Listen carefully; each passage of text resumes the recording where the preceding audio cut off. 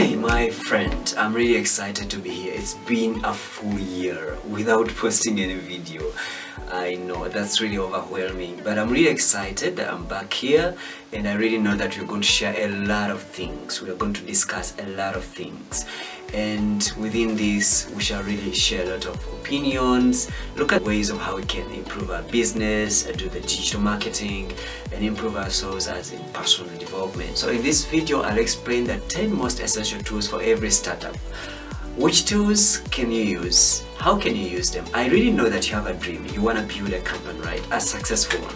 But which tools can you use and how can you use them and how can you optimize them?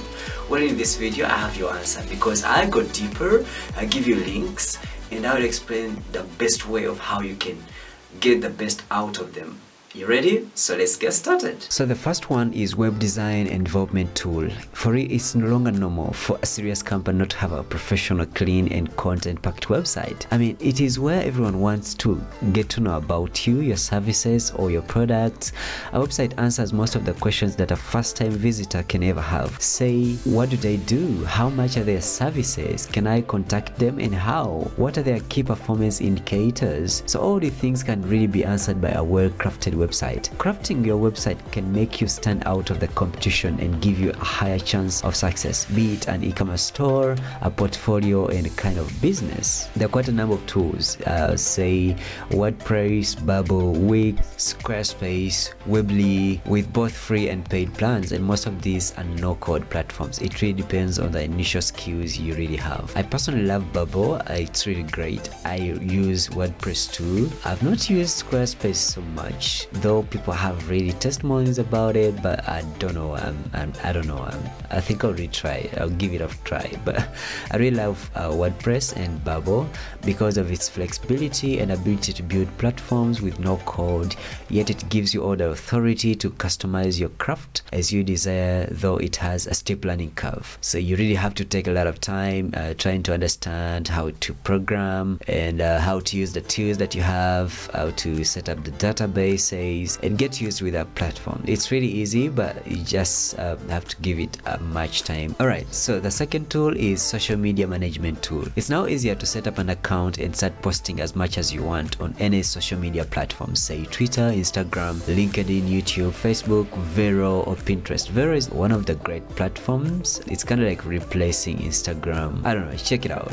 it's really great. However, it can really be time consuming and hectic to manage social media accounts as you are filled with company growth management. That's why it's best to find a way of how you can utilize third-party social media management tools like Hypefury, Hootsuite, Buffer, Planable, Social Sprout, Sendbo, and others. I personally use Buffer for Instagram and LinkedIn and Hypefury for Twitter specifically. Yannick is really great. It's super amazing and it sends you daily emails with growth tips that push you to even post more. I believe that that is like the best thing about Hypefury. The most commonly used is of course Hootsuite. Could be want a package of premium features though I would really suggest that you first maximize the free plans to get familiar with the platforms. Uh, make some mistakes and then learn from them and see how you can grow your company. The third tool is email marketing and management software. So this includes tools like MailerLite, which I use a lot, MailChimp, Weber, uh, Constant Contact, GetResponse, which I use a lot, you know. Uh, most of these tools are really great. Like MailChimp, I think MailChimp is kind of like the oldest, I don't know, um, that's what uh, I really know. Um, so I use them to reach, acquire, and retain customers.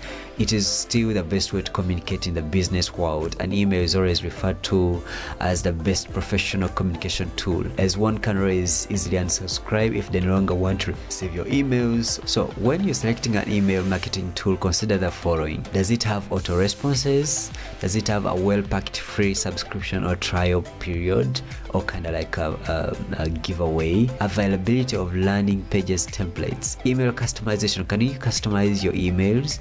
Follow up emails feature. Does it have features whereby you can follow up on your emails and schedule emails and find a way of uh, you have like an email marketing plan whereby after sending this email, if someone replies this, this is what they send, I send next if they don't reply this is what i send next. Kind of like a flowchart of how your emails are going to be sent. Email marketing templates and uh, proper guides to use them. Properly detailed analytics that you can easily extract in either csv or pdf to share and more.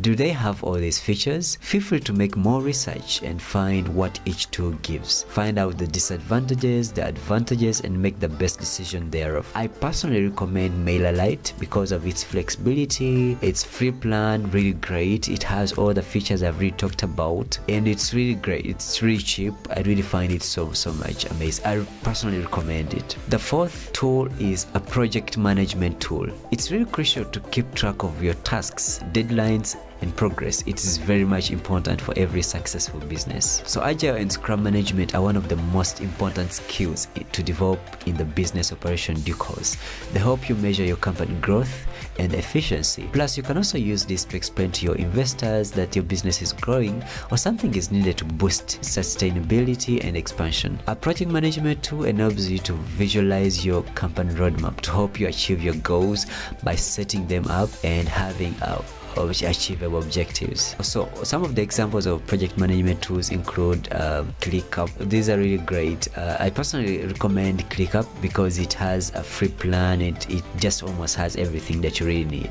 Moving on to next is Customer Relations Management Tool. A CRM tool enable you to manage customer information and relations in a single workspace. So you can track orders, you can track sales, feedback, and all the marketing activities very much easily. So this includes tools like Zoho, CRM, QuickBooks, Zapier, MailChimp, and Google Suite are much available for your progress. These are really great tools. You can check them out. Recently, Google introduced Google Business Manager platform, which enables you uh, to set up a way of how customers can easily access you, uh, they can easily contact you, make orders, keep track of them, and give you genuine uh, feedback that will help you to improve, receive all, and make a more detailed decision. All feedback just help you to decide better, and I really believe that no one ever improves without a feedback or a negative one. Doesn't hurt. Yeah, that's really been a rough. Um, before we go to number six, I want to show you something. You have the potential to do everything you ever want.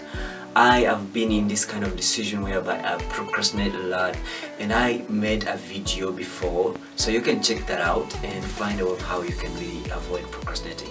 So you ready? Let's go to option number six. So tool number six is a team management software. It can be quite alarming when you run a big team to keep track of their progress and keep communications more streamlined with a proper tailored software. So tools like Slack, um, Microsoft Teams, Microsoft Outlook are a great way to keep the team together, sharing the same vision and achieve your company growth. You should uh, build a digital culture in your team to always check their emails every morning, communicate everything via email, or could be a call, but let someone first send an email. That's kind of like the more professional way of communicating. And this is great to help you to keep track of your company progress and the way of how you can uh, manage your tasks and find a way of uh, improving within your team.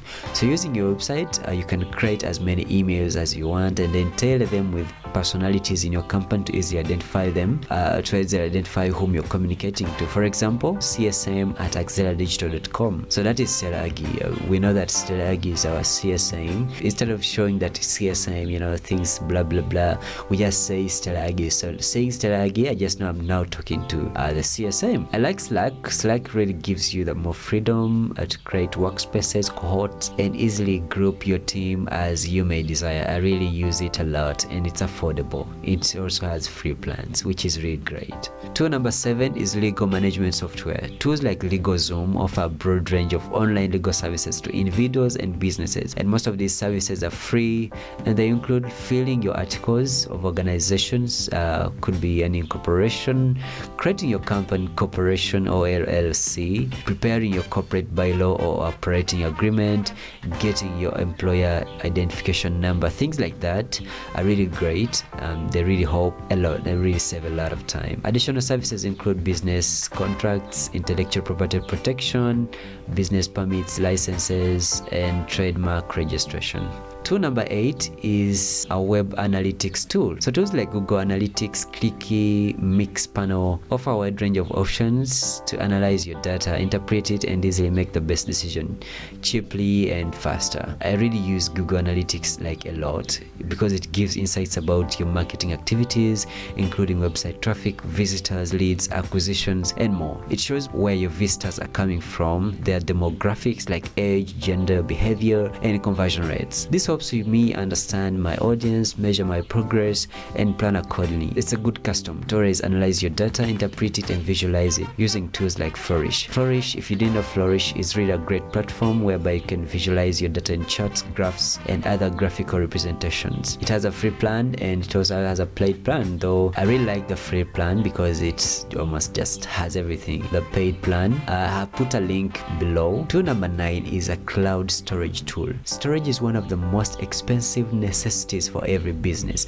You need to always have a backup of everything that your company is running for easy retrieval and referral, or else you run into problems. Tools like Amazon Cloud Services, Dropbox, Google Drive, OneDrive provide really faster, safer, and reliable storage at free and paid plans. I use Google Drive, and really OneDrive is also good. Um, and they give you Google Drive gives you like 10 gigabytes for free. So you have 10 gigabytes for forever storage, you know, for every email that you own. Man, that's so cool. That's so cool, right?